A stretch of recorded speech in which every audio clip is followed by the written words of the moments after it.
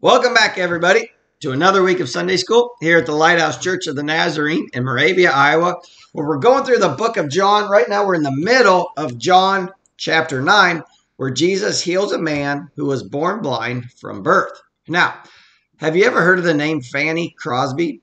Fanny Crosby was basically born blind. She was blind from six weeks of age and on, so she never knew what it was like to have her sight. But Fanny Crosby went on in her life to write over 8,000 hymns. And there are many of the hymns that we know today were written by Fanny Crosby. Um, Blessed Assurance, To God Be the Glory.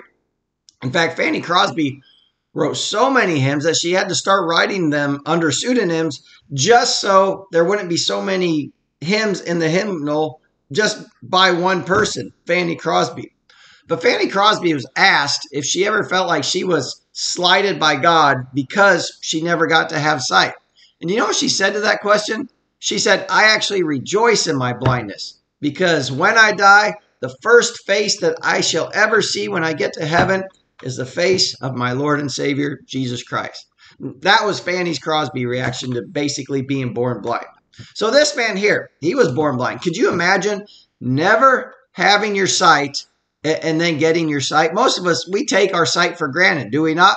But this guy never knew what it was like to have sight. Jesus opened his eyes and he's like, wow, look at this.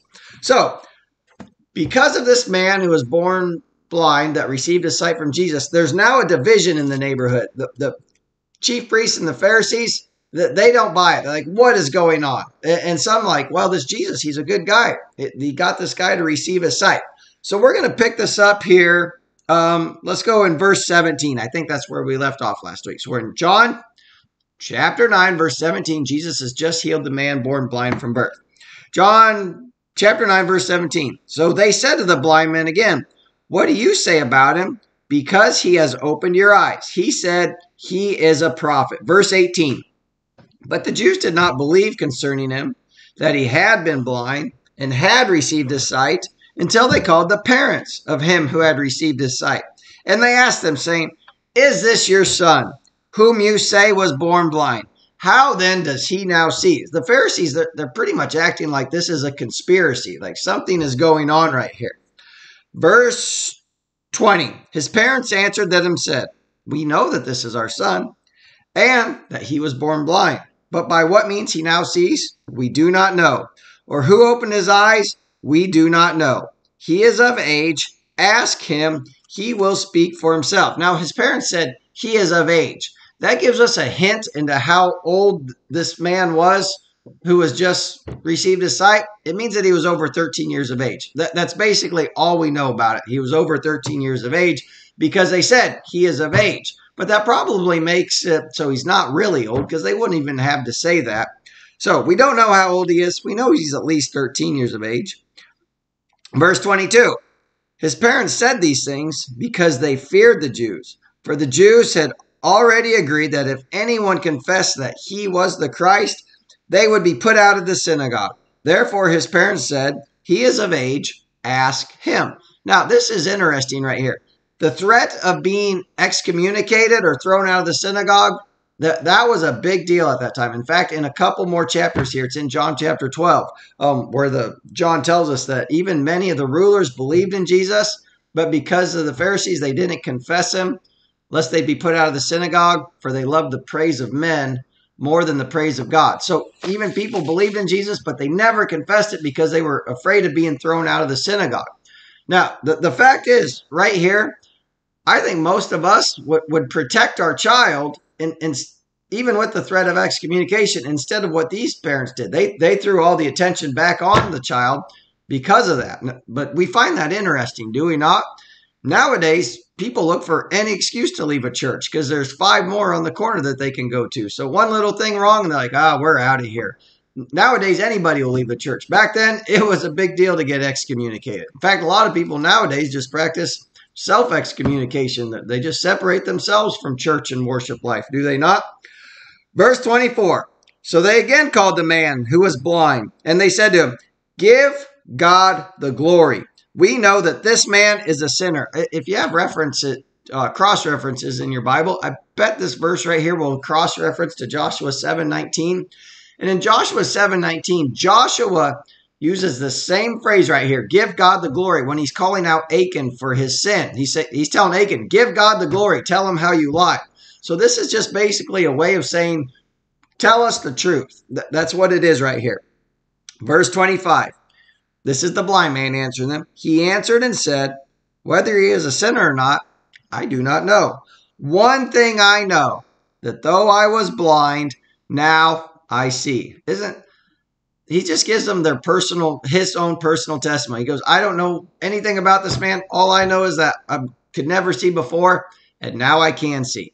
But this is the truth right here. Nobody can refute your personal testimony. We are all going to get asked questions that we don't know the answer to. But if if we say I once was lost, but now I'm found, I once was blind, but now I see, look what Christ has done in my life, nobody can argue against that. Nobody can argue your personal testimony. We don't have to know all the answers, but our personal testimony has power. Uh, let's see, verse 26. They said to him again, What did he do to you? How did he open your eyes? Now they're starting to get angry. You can just tell. Verse 27. He answered and said, I told you already, and you didn't listen. Why do you want to hear it again?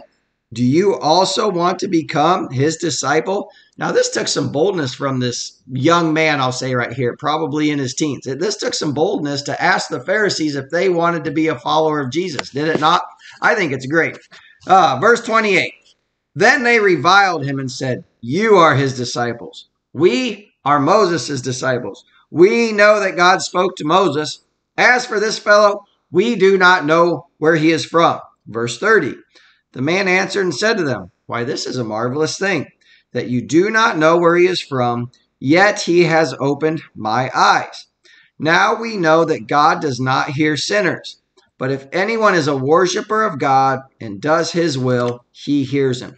Notice that this is not in red letters right here. Notice this is not Jesus talking when it says, verse 31, we know that God does not hear sinners. But if anyone is a worshiper of God and does his will, he hears him. Now, this isn't Jesus talking, but, but it is in the Bible. So is it true? Or do we have to take it with a grain of salt because it's a man talking? There, there's different times in the Bible we can see this. When Job's friends talked, some of the things Job's friends said were not correct. In fact, God pointed it out at the end of the book of Job. He said, My wrath is aroused against you because you did not speak what is right. But then if we go to the book of Esther, we find Mordecai telling Esther, like, hey, if you don't do what God's asking you to do, deliverance will come from somebody else. God's going to find somebody else. And, and we take that as gospel truth, even though it wasn't God specifically saying it, was Mordecai. So this man says, We know that God does not hear sinners. But if anyone is a worshiper of God and does his will, he hears him. Now, if God doesn't hear sinners, then, then how, does, how does any of us get saved? The, the prayer that God will always hear is, Lord, have mercy on me, a sinners. But the Bible does t- say this exact same thing in other parts of the Bible. The Bible does teach that if we have unrepentant sin in our hearts, that, that our prayer life will be hindered. Um, David said it, I believe it's in Psalm 66 18. Um, David said, If I regard iniquity in my heart, the Lord will not hear me. Uh, the Bible says this in other places. It's Isaiah 115. Um, God says, When you spread out your hands, I will hide my eyes from you. Even though you make many prayers, I will not hear because your hands are full of blood.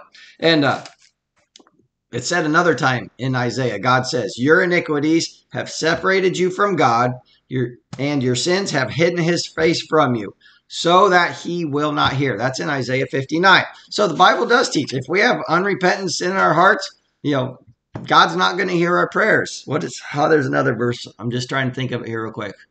The eyes of the Lord are on the righteous, and his ears are open to their prayers. But the face of the Lord is against those who do evil. All right, uh, let's keep going here. Where are we at? We just went with verse 31. Verse 32.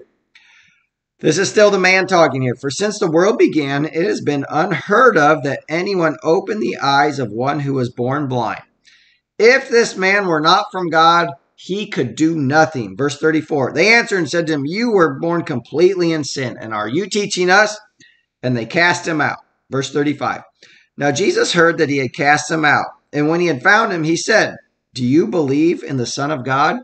Now, this is the most important question in the world because the Bible tells us that whoever believes in him has everlasting life. If, if you confess with your mouth the Lord Jesus Christ and believe in your heart that God has raised him from the dead, you will be saved. Do you believe in the Son of God? That's that's the question we all need to ask ourselves. The Philippian jailer asked Paul, said, What must I do to be saved? And what did Paul say?